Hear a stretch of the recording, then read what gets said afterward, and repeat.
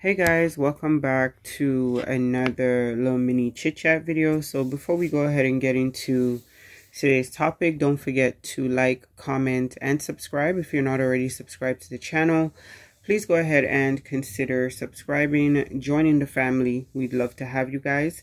If you're already subscribed, thank you so much for doing so. We appreciate the support. Don't forget to like, comment, and share.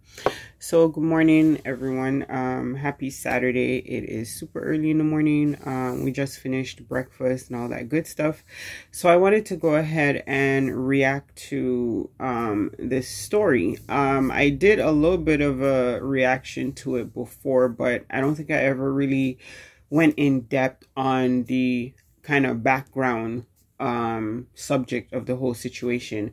So earlier this morning i was watching kiki's tea. I'm gonna leave the link to her channel in the description. You guys can go over there and check out the full um video.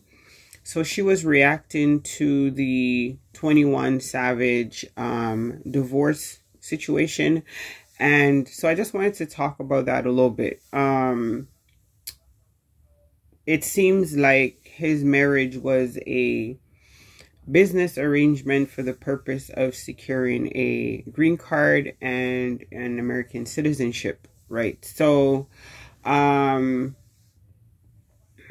so that's in that's a whole that's a whole that's kind of like where I want to focus. So we're going to talk about business marriages versus I'm going to help you out. Um, a lot of people may not be aware um, of this particular arrangement, um, which is pretty common, um, especially in, uh, well, I want to say I want I won't say in my community. Um, I can only speak from what I know of, but I do know of other cultures and other people who have entered into these type of arrangements as well. So it's not really um, particularly a cultural thing, but it is something that is prevalent in my community. So I want to talk about that a little bit. Um,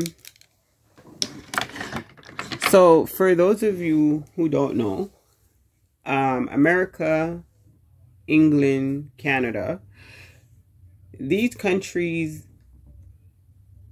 traditionally have a very um, rigid immigration system, which means it's not easy to immigrate to these countries. Um, America being over the years, ever since the whole, um, you know, 9 11 situation, getting into the United States is not as easy as it used to be. Um, there are a lot of countries that now require visa for entry just to even come in and like for a weekend.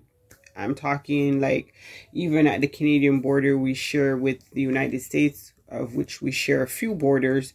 Um, the Peace Bridge, for instance, going into um, Niagara Falls, New York just crossing over from Niagara Falls, Canada, you're entering to, you cross over the bridge and you're in America, right? Um, even to walk over that bridge, if you're not a Canadian citizen and you're not on the list of countries that are exempted, which um, for the most part don't include any of the Caribbean countries or a lot of the African countries, um, you're to need a visa to get into the United States. So for a lot of people who, you know, want to live and work in the United States, excuse me, the easiest path to doing that is to marry an American citizen. Now, we've all seen 90 Day Fiance, we've all seen these type of we've all seen it, right? So these things happen this is what this is reality. People enter into these type of arrangements all the time. So when you're entering into a business marriage traditionally there would be like an exchange of funds right? Um by the way i'm not saying this is right or legal um but people do it right? Um that's what i'm saying. So usually when you're doing that you would be paying some type of fee. Like the person who is marrying you would be charging you a fee. And um, you'd be paying that plus you know all your legal expenses to do all your lab work all that type of stuff. It is not a journey for the light of heart.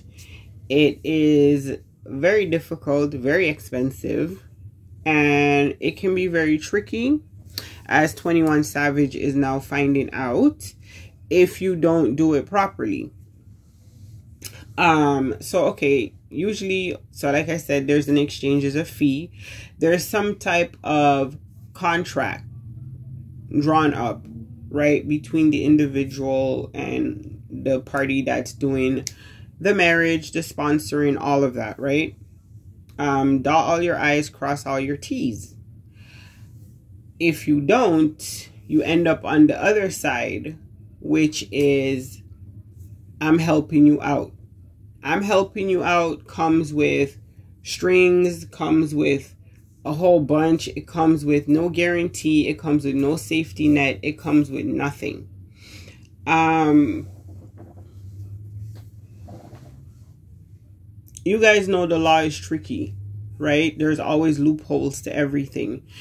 For instance, I'll give you an example. Um, in Canada, we have like uh it's like a nanny, it's like a nanny or um, live-in helper program done through immigration where a lot of um, women from certain countries like the Philippines, um, certain African countries, wherever have you, they can come here and work as a living home care provider, helper, nanny, whatever the case may be, and that will be their pathway to um, becoming a permanent resident, then becoming a citizen, right? So it's kind of like a work, it's like a work visa with a pathway to staying here. So over the years, um, when this program was, you know, first implemented and stuff like that, there was no protection for the women who were taking part in these programs. So basically, they would come here to do this job, and while doing the job, there would be like they would be assaulted verbally physically sexually and they couldn't say anything they wouldn't be able to report their host because of a fear of the person can revoke their their visa they can revoke their permit and they would be deported back to where they came from. So a lot of women suffered years of abuse in silence so they can get their permanent card permanent resident card. Um, after multiple cases eventually made its way to the media, it started to shine a light on that very dark underbelly of that particular um, immigration process. And laws were put in place that protect women now who come forward with allegations of abuse. And um, they're now prosecuting people who sponsor people and abuse them. So that's just kind of like one area, you know, where your life is kind of in the hands of someone else. And if there's nothing put in place to protect you, they can take advantage of you, right? Um, okay, so excuse me. So that's the whole, you know, um, kind of straightforward business cash exchange for service type of situation um usually in that situation there is no um there is no like intimacy there is no there it's strictly a business transaction and once again before the laws changed because people were abusing this particular system you know getting married and to get their green card or getting married to get their Canadian citizenship or to go to the UK or whatever have you. Um, a lot of people were doing this. A lot of people immigrated to these countries through this process, right? This is a known fact. Um, and you didn't even have to live together back in the day. You could just, you know, marry the person and you guys go your separate ways. You meet up when it's time to go in and meet with immigration. You fill out the paperwork. You go your separate ways. And you do that until the process is done and you get your papers, right? And then you go your separate ways. It's a business transaction. Um, and that, you know, traditionally was how it was done. But over the years, again, the government cracked down on the abuse of that particular tool. And now you had to live together. There were home visits. They would pop up. They would, um, there are certain cases where um, they would bring you in to do a test to see, you know, how well you know your partner, different type of things to kind of catch you if you're doing this kind of fraudulent uh, method, right? Um, there's a popular movie with Sandra Bullock and Ryan Reynolds where um, she uh, wanted to get Canadian citizenship and so she went to live with him and his family um, and it was like a whole it's a whole thing. If you've seen the movie then you know. They had to go in and do the quiz. They test them. They ask them questions that you should know about your partner um, their favorite food favorite this where were they born? Different type of things to kind of trip you up and see if you're you know see if you actually really know this person or you're get you you know you're just doing a business transaction which is by the way again i want to point out illegal. Um okay so that's the business end of it, right? Now we're going to talk about like the 21 Savage situation, which is kind of like what you're seeing play out in social media, in the media, right? There's clearly like, it's one of these, you know, I'll do you solid. I'll help you out, you know, I'll help you stay in the country, da da da da da. And let's just go ahead and get married, you know, in good faith. This is, I'm going to help you out in good faith, all that type of stuff. Um, and kind of like that's how it starts out, right? So from the get go, I'm going to go ahead and say this is the worst method, right? This is the worst method because it always starts out with, you know, we're just doing this for this purpose. But then it changes because you involve intimacy. Now you're living together. Now reality and fantasy kind of become one. And over time, the children start coming, right? So now things are very much real. And it's always more so on the woman's side. I just want to put that out there, right? Um, a lot of the times, you know, the guy, he's still intact with the whole arrangement you know, he's just enjoying the perks of the situation. That's how sometimes men look at these type of situations. It's very black and white for them. Women, it's very black, white, gray, and in between, right? Things get complicated when feelings get involved. Um, guys are more able to kind of compartmentalize their feelings in terms of okay, we start out, you said this was what we're doing, so this is what we're doing. Um, women more think along the line of, well, you know, we're sleeping together, so obviously you must know more is involved. Not necessarily. Guys don't normally think that way, right? They're enjoying I'm so like I said the um the perks of the situation. Right? It's like if you choose to sleep with me that's cool. That's a bonus. If you choose to do all this other stuff, that's a bonus. I will enjoy it in the moment. But they're always in that frame of mind of this is what we're doing. Now, that leads to tons of complications, obviously, right? Um, over time, the guy could start to rationalize things, right? Like, okay, you're doing this for me. I'm going to do you a solid because I see this is what you want. You want a family, you want a home, you want the children, you want all of that. I can provide that. Like, it's like a job. You know, you clock in and clock out.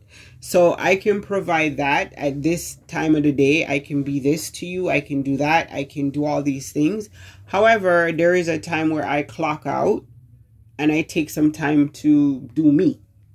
You know, it's my day off type of vibe. And in that time and space, they're living a completely different lifestyle, guilt free. Because in their mind, you know, they're giving you what you want. So, you know, out of the whole arrangement. And I'm, you know, why can't you give me what I want? Type of vibe. So if you had a female who was okay with, you know, living the open marriage and the double lifestyle, that would be cool. You know, do you just make sure you show up to do this, this, this, and this. And some people um, do live that type of lifestyle, right? However, in this case, I don't think his wife, um, Kiana, signed up for that. I think she signed up for eventually over time we're gonna make this permanent.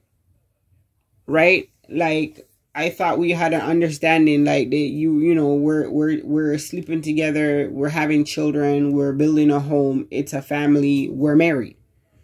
So at some point it went from you know i'm gonna do you this favor i'm gonna help you out with feelings I'm not going to say she didn't because usually women have to have some type of connection in order to even go along with something like that. Right?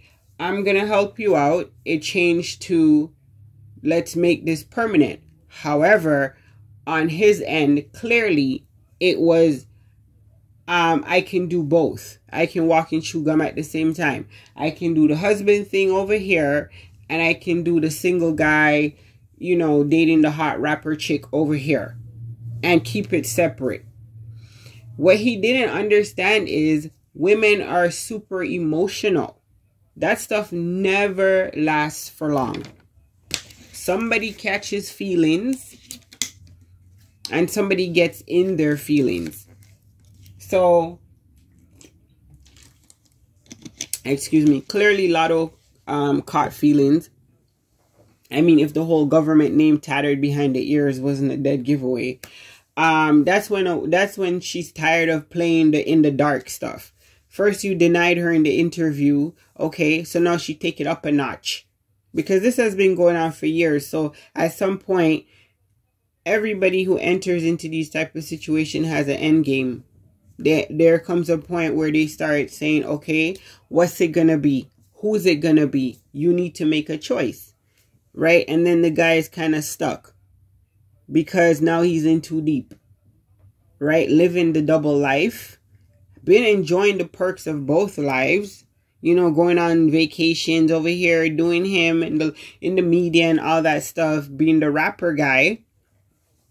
And then over here, he was going on like secret romantic dates, doing the family guy thing. So he was having best of both worlds. Unfortunately, the two women involved wanted each other xed out. And he couldn't do it and didn't do it fast enough. So here we are. Now you're in a situation where um a woman's hurt. You know, everybody on social media is kind of on her side because this has been going on for months. Um, Latto has been throwing the relationship in the wife's face and so it's at that point you back her into a corner and you force her to act. Right? I think the tattoo behind the ears was kind of like the last straw that broke the camel's back and she was over it. Now, you can look at it from multiple standpoints. Okay? You can say, well, you knew what you were getting into. Um, but we don't know. We weren't there. And I got to tell you, um, I've seen these situations uphand close and personal, right? Um, people fall in love, people catch feelings, and people get hurt, right? People have expectations and they don't they they slowly come to a realization that what they envisioned is not the reality. So you know, you enter into these things with the hope that, you know, over time, the person will come to either love you the way you want, um, you know, settle into the situation and let it flow. Just let it become a permanent thing. Just be married.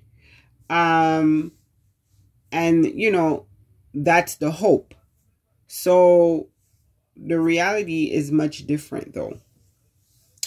And that's the part where it's like, That's why I say I wouldn't recommend this method because someone always gets hurt in the end when there is strings attached and people catch feelings. Um so I can understand her divorcing him, right? Because she didn't sign up for the mistress. That was not her agreement with herself.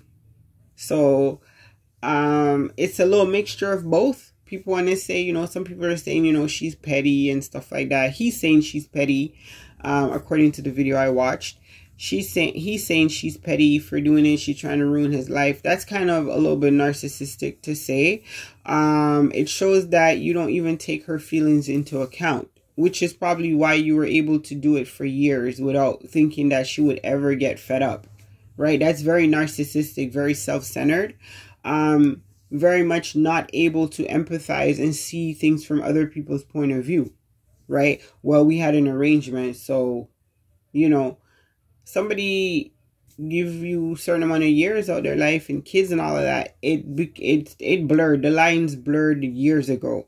So you know, um, it is what it is at this point because there was multiple opportunities according to reports on social media. She had given him multiple chances to end the relationship and he was not able to walk away. So I think, you know what? They call it a day. It didn't work out. You were not able to come through on your end. Um, you were not able to meet expectations. And she's not able to be the type of wife you want her to be. Just kind of behind the scenes quiet and take all the the the rest of it. So she's clearly not built that way. So what is best to do then? Get divorced you know, if you and Latto really, really, you know, are into each other the way you were during the whole affair, then you should have no problems getting married. She should want to marry you, keep you in the country. You know, do whatever you have to do uh, legally and get that process going. If it's true love and it's what it's supposed to be, then it will all work out in the end. Put her to the test Will she will she do that for him? Marry him to keep him in the country? Or would she marry him period? Even if it's not to keep him in the country. I won't put that out there on them, but I'm going to say even would you marry him? Because clearly you wanted him so badly, right? You tattooed him on the back of your ears and all of that. So truly you love him. So you shouldn't have no problem wanting to get married. That's the whole point of wanting him to leave his wife, right? to be with you. So I would go ahead and, you know, let them have at it. But I would extricate myself from the situation and move on with my life, which is what she seems to be doing, as reports are saying. Um, so we'll see how that plays out for him. It always depends on how far along you are in your process and what the situation is. Now, you know, adultery is grounds for a divorce. I mean, it's all over social media. You kind of, that's what happens when you put everything on social media and people find out your business. It's all over the place.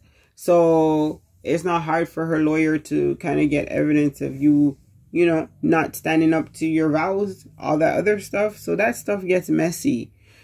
Um, which is why I say I would not recommend the whole I'm going to help you out. I'm going to do you a solid or a favor or whatever the case may be.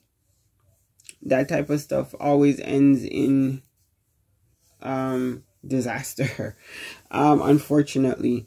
So that's kind of like my my take on the whole situation. I just wanted to kind of break it down a little bit. Um, some people really don't understand the whole marriage business thing. Um, a lot of people understand arranged marriages, um, but not so much the business marriage part. Um, it's not something that people really talk about. It's very much, you know, um, if you know, you know type of thing. And, you know, it is what it is. It is part of life. And so, yeah. So let me know what you guys think about that whole situation. Do you guys feel like 21 Savage wife Kiana is right to go ahead and divorce him? Um, because him and Latto have been carrying on you know, in front of her face, not even behind her back, in front of her face for months. Um, so do you feel she's justified in pulling his, um, his, um, what would you call it? Pulling his visa or revoking his green card or whatever the case may be that she's doing, divorcing him, which is gonna kind of put a halt to his immigration process. Um, and there is talk that he may be deported. So, um, let me know how you guys feel about that in the comments down below. Thank you guys so much for listening. Thank you for watching. Don't forget to like, comment, and subscribe. And we'll catch up with you guys in another video. Stay up and stay blessed. Deuces.